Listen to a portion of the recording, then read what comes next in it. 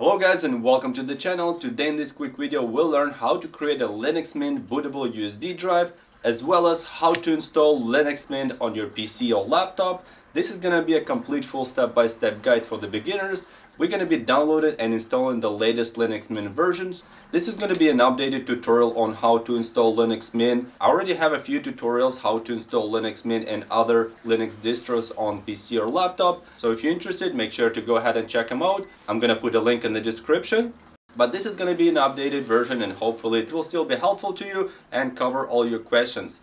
But before we start, if you're new to the channel, please take a second to click the subscribe button. Also, if you find this video helpful, give it a like. And if you have any comments or questions, drop them down in the comment section below. I'll try to answer your questions and help you if I can. But nevertheless, without further ado, let's get started.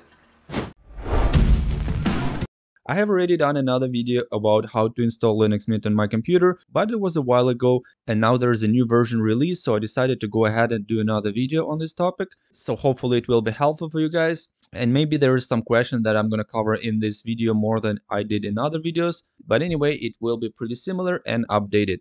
Okay so the first step what you need to do you need to download the ISO for the Linux Mint image. And for that you just got to open up any browser then go to the search field and type Linux Mint then press enter. Any search browser should bring you to the official website which is linuxmint.com so just gotta press on it when you open up Linux Mint website, as you can see, the current version is Linux Mint 21.2 Victoria. This is the latest version right now as of August 2023. There's going to be new versions coming out later, but this is the current version right now. So as you can see, there is download instructions here. So if you would like to read all the instructions, it will tell you how to download it, how to create a live boot, how to do the installation. It is pretty detailed instructions. But if you want to go ahead and watch this video to the end, we're going to go through all these steps so you don't have to read through those instructions. And I appreciate it very much. Okay, so like I said, first you need to download the ISO image of Linux Mint. For that, you just gotta click on this download button.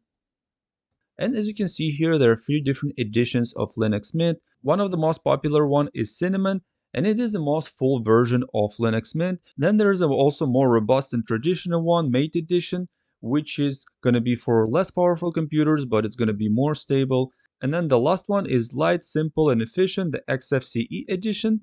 This edition will be good for those who have like very old computer that doesn't have much hardware resources. For example, it could be an old laptop or netbook or even an old PC. If you would like to install it on that machine, I would recommend you go with the XFCE edition. Or if you think that your computer is pretty powerful but not the latest one, you can go ahead and try the Mate edition. But because I'm going to be installing it on the laptop with the Ryzen 4000 CPU, which is pretty powerful nowadays, I'm just going to go with the most popular Cinnamon edition. But the installation process will be similar, so don't worry. If you choose another edition, you can still use this guide. Okay, let's go ahead and click on the download button. Over here, as you can see, it says the size is 2.8 gigabytes, so it's pretty big. So just scroll down. As you can see, there's only 64-bit version available. There's no 32-bit versions available anymore, so you won't be able to install it on all the computers that only support 32-bit operating systems, but most likely you're gonna have the 64-bit operating system anyway. As you can see, there's a lot of locations you can choose from, so depending where you live, you can choose the closest location to you, and then it will be faster for download, but it doesn't really matter. You can actually click on any of these locations, and it is still going to get the exact same image. All right, let's go ahead and click on one of these locations and then we can download it. I'm just going to choose the first one here. Then you just got to choose the location where you want to save it. I'm just going to save it to the downloads and click save. As you can see, the download has started. I'm just going to click here. So it says it's going to be two minutes for the download. So I'm just going to fast forward it until it's complete and then we're going to continue. Okay, so the download is complete. Let's go to the next step. And the next step is going to be we need to download a program that we can flash this image onto the USB stick. For that, we're going to be using a Balena Etcher. So all you have to do, just go to the browser again and then type in Balena Etcher. And Balena Etcher is a software that allows you to write an image such as ISO to the USB stick, and it is mostly used for Linux images. So the website is going to be called etcher.balena.io So just click on it. The next step, just click on the download. And here you can choose for which operating system you want to download it for. And if you're on Windows right now, you need to click Etcher for Windows. Or if you don't want to install it, just click on the portable one. Or if you, for example, on Mac OS, you click download for the Mac OS. If you're on Linux, well, if you're on Linux, you don't need to watch this video. So most likely you're on Windows. So let's go ahead and download this portable one. Actually, I haven't tried the portable one before. I always use the installer because I just keep it on my computer. But if you don't want it to be installed on your computer, you can just download the portable. So let's go ahead and try it. Just click on the download button. And again, we got to choose the location where we want to download it. And we're going to save it to the downloads and press save. All right, it's already saved. The next step, what we're going to do, we're going to flash the ISO to the USB stick. So the Linux Mint ISO that we have already downloaded, this one here, we got to flash it to the USB stick using this program. And for that, we're to need at least a 4 gigabyte USB stick. In my case, I don't even have such small USB stick anymore. And the smallest one I have right now is 128 gigabyte. So I'm just to be using that USB stick. So go ahead and plug in the USB stick to your computer. All right, there we go. So as you can see, I have got this huge USB stick, 114 gigabyte. Well, actually it's 128 gigabyte. But as you know, usually Windows showing a little bit less. It doesn't show you the actual size. It only shows the size that you can actually use. Nevertheless, let's go ahead and close it. So the step number three, go ahead and start Balena Etcher. Let's minimize this window here. Okay, so now Balena Etcher has started. First, you need to choose the file you want to flash. And the file that you want to flash is going to be the ISO that we have just downloaded, which is going to be in the downloads. And this is going to be the Linux Mint 21.2 Cinnamon 64-bit. So just click on it and click open. Now you need to select the target, which is going to be the USB stick that we want to be using to flash this ISO. And as you can see, the actual size is even a little bit more, it's 3.03 gigabyte. Then select target and as you can see, I only have one USB stick available. So we're just gonna choose it and then click select.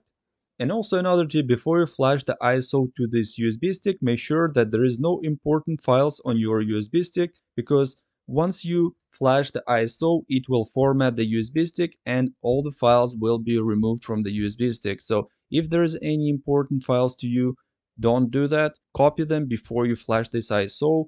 Otherwise, they'll be completely gone and you probably won't be able to recover them. After that, go ahead and click flash. There we go, so the flash has started. It's probably going to take a few minutes before it's done, depending on how fast your computer is. In my case, it's saying about one minute to go. But anyway, while it's flashing, I would like to share with you my thoughts, why I decided to go with Linux and try it out. Well, first of all, because Linux is free. You don't have to pay for it, unlike Windows or Mac OS.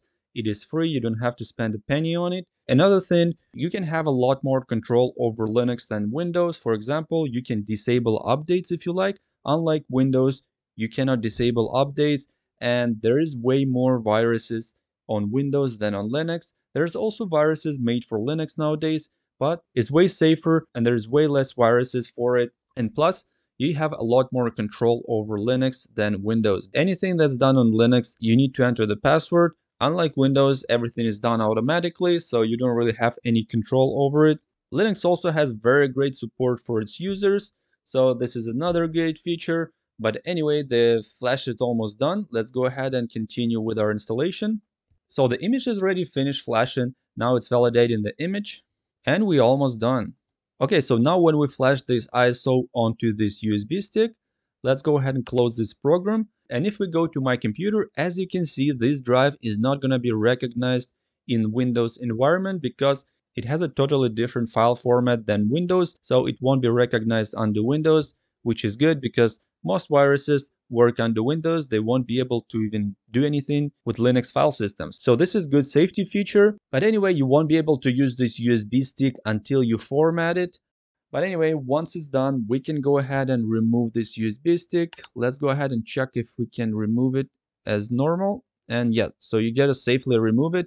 because if you don't safely remove the USB stick, sometimes it can cause problems with your USB stick and you won't be able to use them later. So safely remove it first.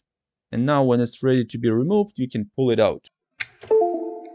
Go ahead and plug in the USB to the computer that you're going to be installing Linux Mint on.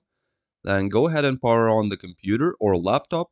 And if it doesn't start loading to the USB stick, and for example, it starts loading to the operating system that you currently have on your laptop or PC, then what you can try to do, you can try to press different key combinations. Depending on what laptop or computer you have, you can try these combinations such as F2, F7, F8, F12, delete, tab, or escape. It all depends on different manufacturer. They assign different key combinations to enter the boot device menu. Depending on what computer you have, there might be different keys. So hopefully one of these keys will work for you. Once we got loaded from the USB stick, we gotta choose Start Linux Mint 21.2 Cinnamon 64-bit. So the first option from this boot menu and then press enter.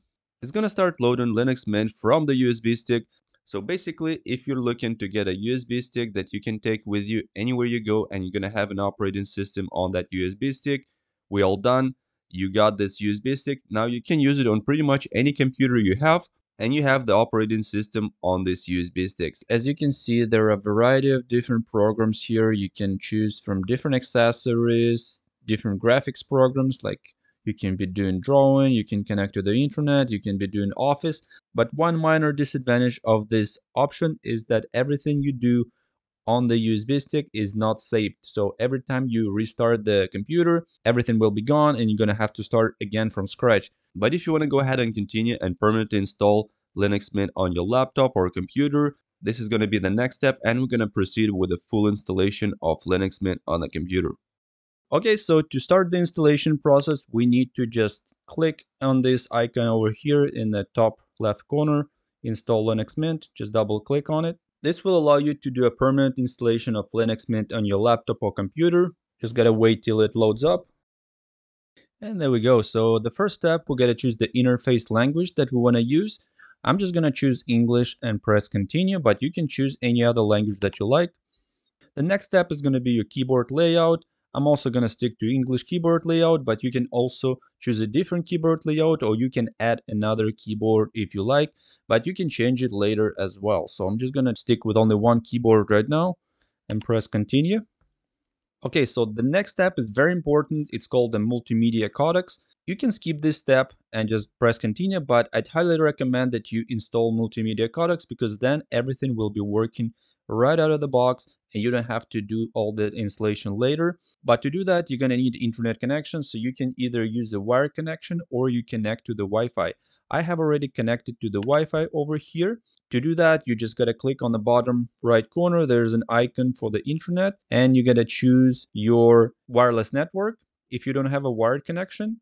And then once you click on it, enter your password and click connect. So this is very simple. I already have it connected. And I will also highlight install multimedia codecs. Then another important step is going to be the configure secure boot. This is a password that's going to allow you to authorize any installation for the third-party software and drivers. And I highly recommend installing the password as well because you're going to need it at the later point and if you don't install it you won't be able to install any third-party drivers and a lot of graphic drivers and Wi-Fi drivers, they're proprietary and you're gonna need to download them from like let's say NVIDIA or AMD. So make sure to set up this password as well and then press continue.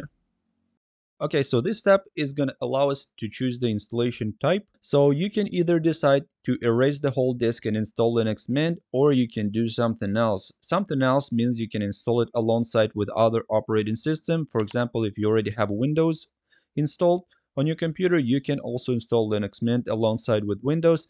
Also, this option, something else, will allow you to choose a specific partition you want to install Linux. But in this case, we're not going to do that. And actually, I already have another video how to install Linux Mint alongside with Windows. So if you want to check it out, I'm going to put a link in the description. So make sure to check it out if you like. In this case, I just want to do a complete installation of, of only Linux. I don't want any Windows on this laptop, so I'll just do a clean installation of Linux Mint, that's it. But as you can see, it says warning, this will delete all your programs, documents, photos, music, everything from the disk. So if you're installing it over an existing operating system, make sure you have already copied everything before you start this process. Otherwise, it will delete all these files and then you won't be able to recover them. Let's check what the advanced features are. The advanced features allow you to encrypt the disk, but we're not going to do that. So right now it's all ready to go. Let's go ahead and click install now. As you can see, there is a warning that's saying that everything will be removed on the computer if you continue. So make sure that there is no important data on the computer that you need. Copy it before you proceed with this installation. Otherwise, it will be absolutely gone. So I don't really have anything important saved there. So I can go ahead and delete it and just press continue. Then you need to create a name for your computer. Let's go ahead and call it Pulsar Tech. And then it automatically creates the computer name and we also need to create a password. You can choose to log in automatically or you can choose to require the password every time you log in and you can even encrypt the home folder. I'm just gonna choose login automatically so it doesn't require the password every time I log in and press continue. There you go, the installation has started so we'll just wait until it's finished and then we can check it out. The installation might be taking about 5 minutes so it shouldn't be very long. But of course, depending on what computer you have, it might be taking longer. So we'll see how long it will take. I'm just going to go ahead and fast forward it to the end so we can see once it's finished. There we go. So the installation is complete. We're going to need to restart it. And then we can start loading not from the USB stick, but from the computer itself. So you need to go ahead and remove the USB stick right now. And after that, go ahead and press enter. And there we go. So Linux has started loading. Yep, everything is working. This is the first start for Linux. Now, as you can see, we get in the welcome screen and this welcome screen will let us configure Linux Mint a little bit more with our first start. So let's go ahead and configure it first and then we can use it. All right, there we go. So Linux Mint is installed and this is our welcome screen where we can get some first step customize Linux Mint a little bit so we can go ahead and check out the first steps. As you can see, you can customize desktop colors, you can create system snapshots, you can check the driver manager, make sure all the drivers get the latest updates. But since we connected to the internet during the installation process, most likely it has already checked all the drivers. And yes, like you see, there is no drivers needed. Also, there is an update manager you can run if there's any security updates, software updates, you can uh, run any of those updates. Then there is a software manager, which is a really great feature where you can get a whole bunch of different software. And honestly, Linux is getting more and more software for their users that you can use pretty much every day. There's probably only a few of the software that not available on Linux and only available on Windows and most of them are like Adobe software, which is for editing, which is not available on Linux. But you can also use an emulator, which is called a Wine, and you can install it on Linux, and then you can use Windows-based programs on Linux. But as you can see, there is like a huge variety of different programs that you can install. Let's say Blender, this is uh, for working with 3D graphics. Stellarium, that's for your night sky. Then Audacity, you have different players like VLC. This is very nice player. Then also you get in uh, Skype, Telegram. Yeah, everything you can think of. Really nice. So definitely you get in a lot of different stuff you can choose. Then you can also read through the documentation. There's a new release features, release notes, and of course there's help. If you need some help, you can always talk to somebody on the web forums or you can even use this chat room that will help you pinpoint the problem if you're facing some sort of problem that you cannot resolve. So yeah this is it guys. Everything is working. I'm really happy. It has picked up the drivers for the wi-fi. It has picked up the driver for the graphic card. My screen is looking great. If i go to right click and go to the display settings as you can see the resolution is full hd for this laptop. Yeah everything is here. And by the way, Linux Mint has a lot more settings available than Windows, so you're gonna like it, I hope. And um, yeah, go ahead and investigate whatever you like. But this is it, guys. I hope you enjoyed this video. If you like it, of course, give it a thumbs up. Subscribe to the channel for more interesting, helpful videos for Linux. And then if you have any comments, questions, of course, drop them down in the comment section below. I'll be happy to read those comments and help you if I can. But this is it for now. I hope you have a nice day. See you soon. Bye bye.